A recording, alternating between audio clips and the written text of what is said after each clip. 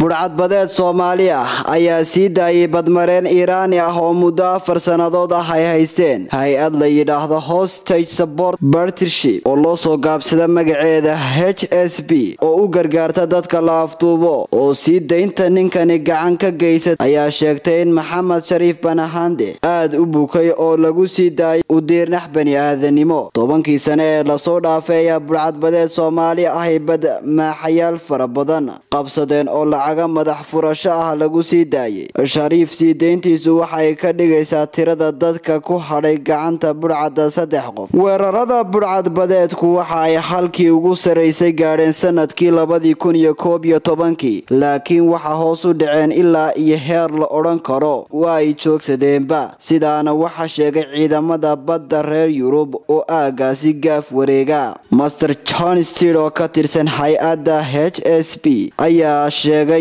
inuu saddexda qof ay weli la haystaa dhammaantood u dhasheen iiraan oo mar la wada afduubay shariif iyagoo saaran dooni kalluumaysi bishii maarij labadii kun iyo shan iyo tobankii. Ninkii la sii daayay ayaa daryeel caafimaad loo geeyey magaalada madaxda itoobiya ee adis ababa oo marka hore lagu dabiibayay kadibna waxaa loo duulin doonaa dalkiisa. Wakaalada wararka reuters oo xiganaysa wakaalada wararka iiraan ayaa sheegtay in iiraan ay ugu mahadnaqday hay'adda h s b qaramada midoobay iyo maamul goboleedka soomaaliya ee puntland iyo weliba sidoo kale itoobiya gacanta ay ka geysteen sii deynta ninka badmareenka ah cabdirashiid maxamuud maxamed wararka star t v